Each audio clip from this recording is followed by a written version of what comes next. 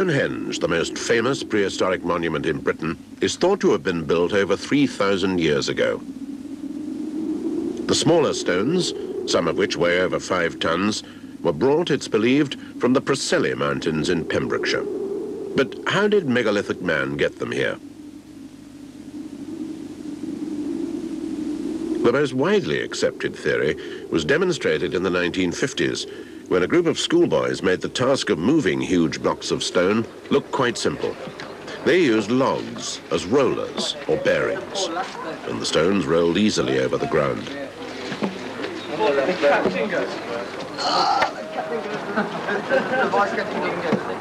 The building of Stonehenge may have been one of the first examples of the use of what today are known as rolling element bearings, and these play an important part in engineering.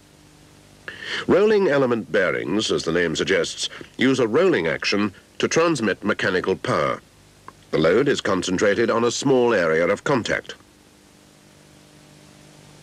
Ball bearings make a point contact. Roller or needle bearings make a line contact. The small area of contact produces a high contact pressure, and that's why rolling element bearings are made in hard, high-strength steel with a very smooth finish. As can be seen from the shaded area on the graph, rolling element bearings tend to be used where high loads are running at fairly low speeds. This keeps wear to a minimum. But there are other examples of primitive bearings, again dating from the dawn of history. When the Egyptians began building the pyramids, they were faced with the same problems as the architects of Stonehenge, how to move massive blocks of stone as efficiently as possible. Each of these stones is as high as a man.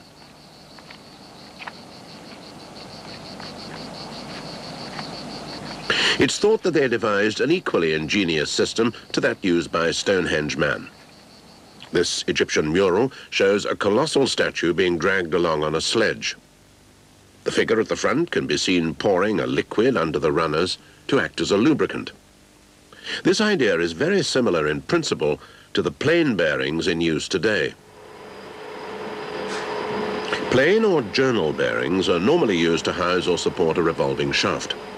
In most cases, a lubricant is essential, and this plays an important part in the operation of the bearing. We can use a model to show how the lubricant works. Normally, the shaft would rest at the bottom of the bush, but to show the way it works more easily, we've turned it upside down with the bearing weighted down onto the shaft. When the shaft rotates, it draws the oil round with it, forcing the bearing to rise, so cushioning the shaft. The pressure generated causes the oil to rise in the tubes.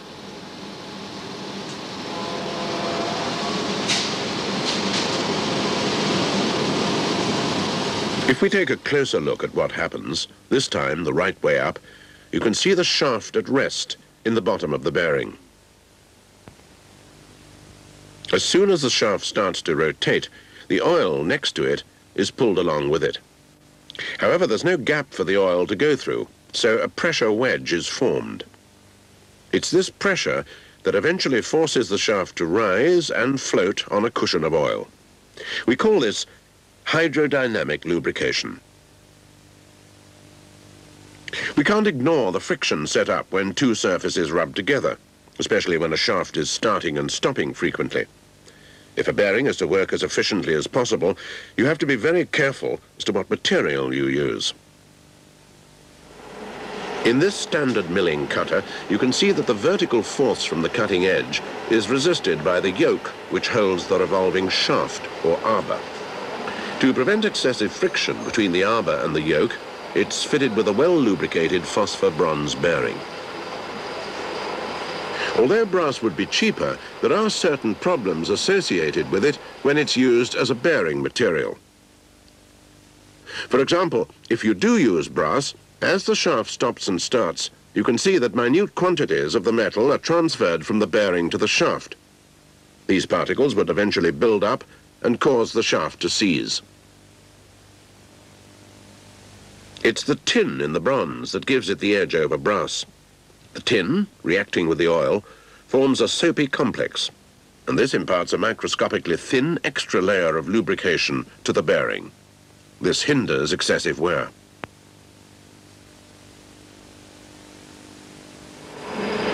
The phosphor bronze bearing used in this milling cutter is a split bearing which not only allows the oil to circulate but also means that any wear can be compensated for by tightening the thread.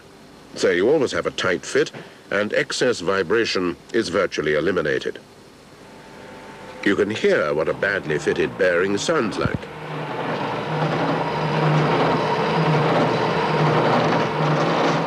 And you can see the ragged result. This is known as chatter. As well as having a low coefficient of friction, ideally a bearing should possess the best possible resistance to fatigue. Shell or thin-walled bearings are particularly well suited for the job. A strong mild steel backing is coated with a thin layer of leaded bronze or some similar material. This unites the strength of mild steel with the superior bearing properties of the coating material. These shell bearings are also quite cheap and easy to make. The mild steel backing can either be in strip form or tubular.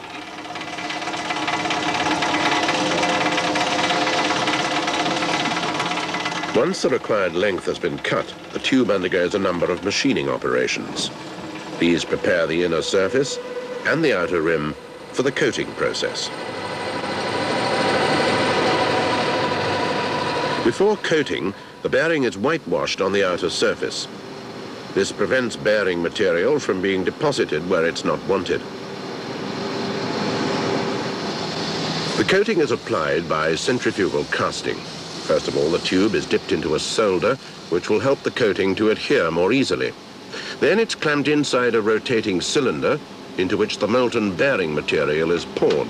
In this case, it's a white metal made of lead, antimony, and tin. As it spins, the bearing material, assisted by the centrifugal force, coats the inside of the tube evenly and solidifies on cooling.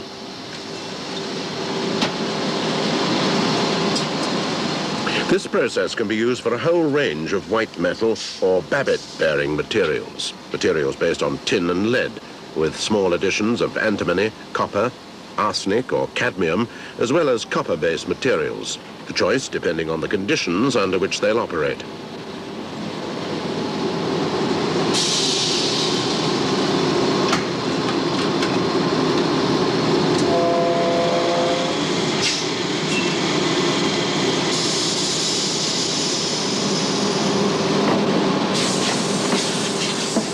Shell bearings are either used in one piece or split to make two half bearings. These would be used together in a final structure, but it might be difficult to fit a single bearing.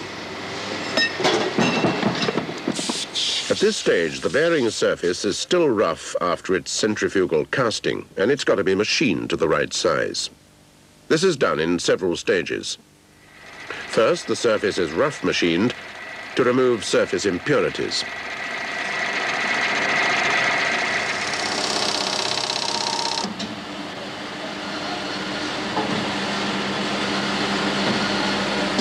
Then comes any additional machining. Oil grooves, for instance, which are cut into the bearing's surface. This is a job which has to be very carefully carried out, as any irregularity in the oil duct could weaken the final performance of the bearing. Last of all, a fine finish for the bearing's surface. This is done by fast machining, and the finished bearing is ready for use. Thin wall bearings come in a range of shapes and sizes some with a thrust face, some without. As with other hydrodynamic bearings, they tend to be used for light to medium loads at high speeds. All these soft metals have a low melting point, and if an oil failure causes a rise in temperature, the white metal melts and runs out of the bearing.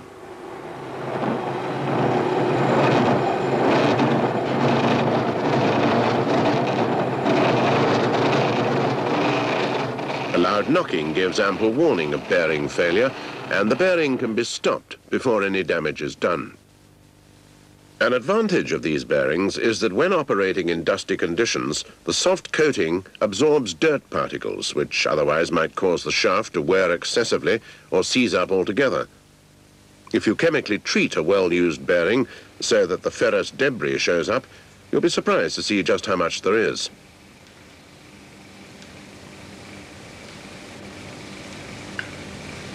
It shows up as the purple areas on this roll of paper. This kind of contamination is quite common and could have stopped an ordinary bronze bearing if allowed to build up. Babbitt metal has a number of uses and is ideal for big ends and main bearings in cars and lorry engines. Some materials other than oil have a certain amount of lubricative properties. The dry bearing properties of graphite, for example, are simply demonstrated.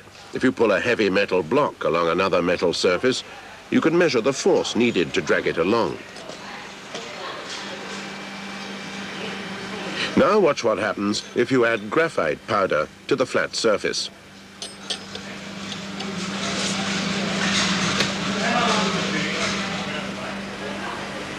You can see that much less force is needed to pull the block along. This friction-reducing property of graphite is used to great advantage in the production of porous metal bearings.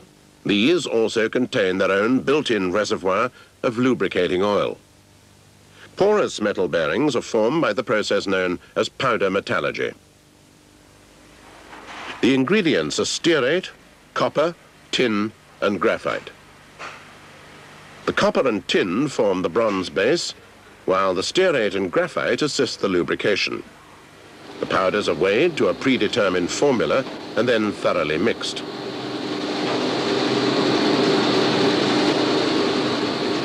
The powder is fed into an automatic press which compresses it in precision dies.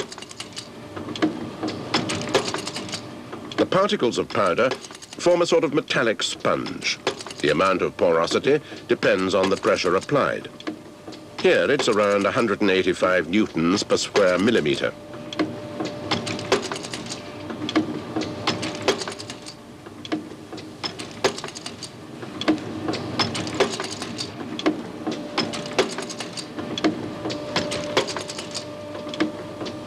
At this stage, the porous compacts are quite fragile, and they have to be sintered to alloy the copper and tin.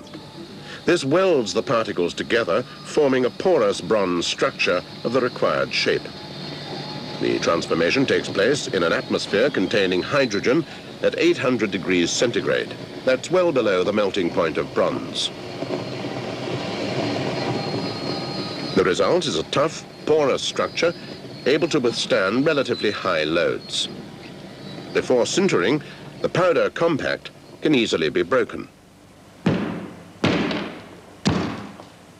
After sintering, it's much tougher.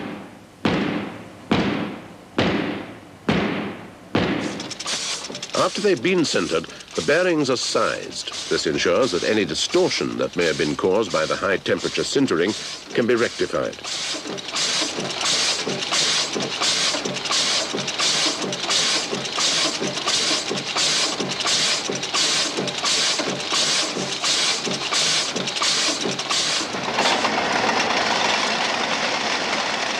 Next, the bearings are placed in a vacuum chamber.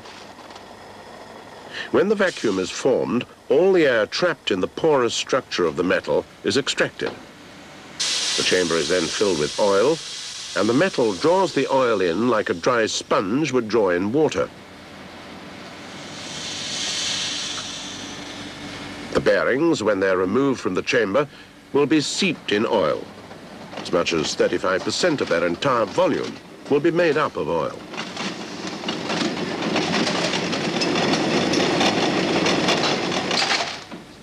The oil content can be quite easily demonstrated. If air is blown into the bore of this bearing, the oil foams out.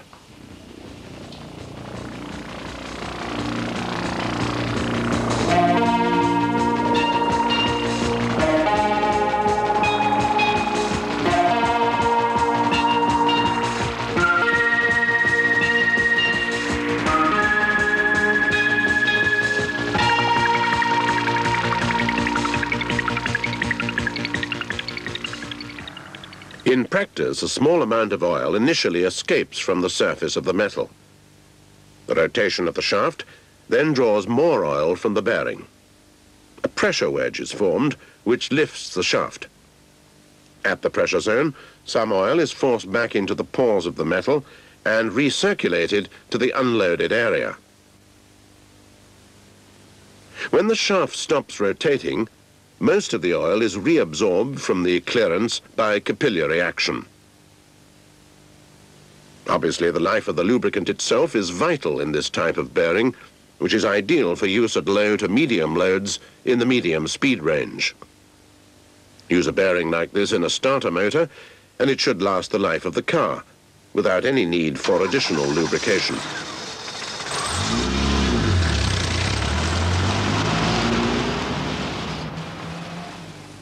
Nylon bearing is the best substitute when the use of oil is not permissible or possible. Most processed foods are produced using highly mechanized or automated equipment with many moving parts and revolving shafts. You wouldn't want oil getting in your ice cream or biscuits. Nylon is the ideal substitute. It's a dry bearing material which needs no lubrication, although its performance is improved even if it's only lubricated with water. Nylon and other dry bearings work efficiently under light or medium loads. They resist abrasion and chemical attack, they're non-toxic, and can be used continuously at temperatures up to 90 degrees centigrade.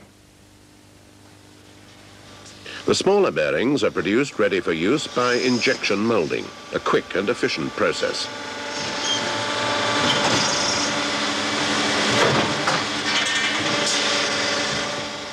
For larger components, the nylon is first extruded to form large bars of the appropriate diameter. These are then machined to form the required shape of bearing.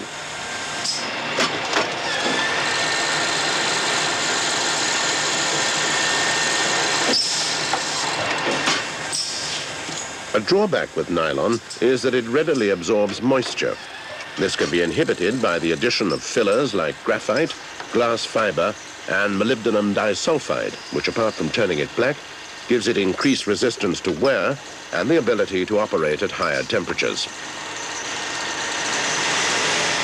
As with other non-metallic bearings, nylon tends to be used with a stainless steel or mild steel shaft, some of which are often chromium plated. Materials used in bearings can pop up in the strangest places. This fried egg wouldn't slide around the pan as nimbly as it does if the pan didn't have a non-stick coating. Polytetrafluoroethylene, PTFE for short, plays an important role as a dry bearing material. It's particularly useful in the building of bridges. Bridge bearings on the top or bottom of bridge supports allow for expansion and contraction which can be up to 12 inches between the hottest and coldest day of the year. The main part of the bearing is made of a steel alloy which is carefully machined to the utmost accuracy. This concave part will house the PTFE. The ridge machined round the rim ensures that it's accurately aligned. The bearings come in a variety of shapes and sizes, and all are given several layers of protective paint to ensure that they'll stand years of pollution and weathering. The bearing allows movement in all directions. There's a bottom concave piece coated with PTFE. Onto this fits a convex disc of anodized aluminium alloy, a surface which will move easily over the PTFE. On top of this is placed a plate to which stainless steel has been bonded. It's this part which will be attached to the top of the bridge support when the bearing is in place.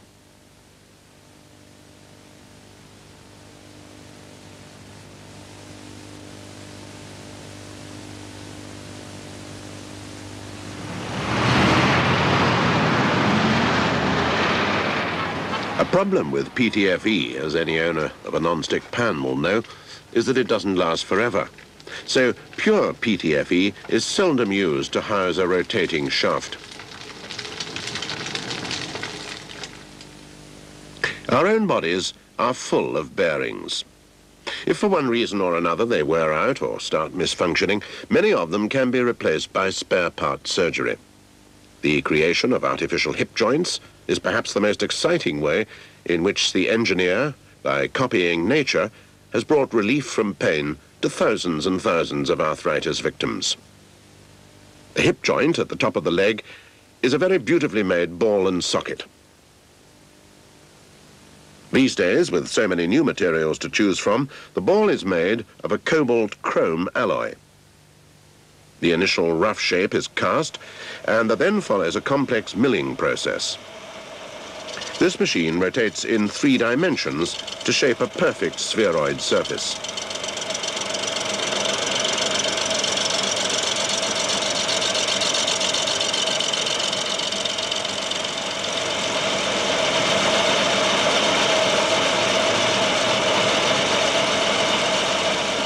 The next few stages are crucial, the polishing or linishing to give as perfect a finish as is humanly possible. The polishing is carried out with progressively finer stones until the job is done.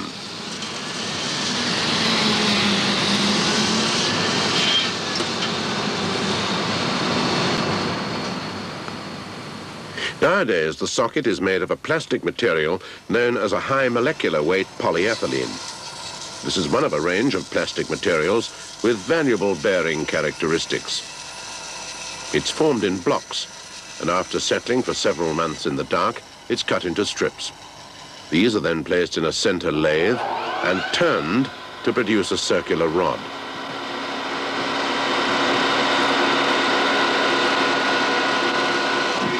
The material is quite difficult to machine as it tends to pick up static electricity and stick to the lathe. The next operation is the machining of the back of the socket. The geometry is important as this will eventually hold it in place. Placing your hands near a lathe in this manner is not normally to be recommended unless you're a highly skilled operator.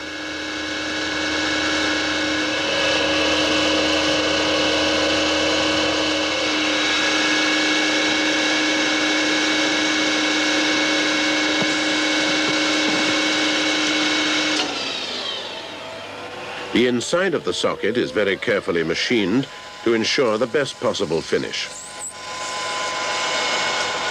Finally, a thin wire is pressed into place so that the prosthesis can be seen if it ever needs to be x-rayed.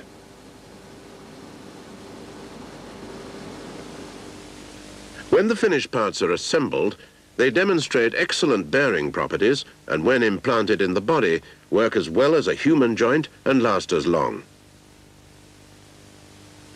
So, whether you're moving an ancient monument or afflicted with a wonky leg, remember, the choice of a correct bearing is vital.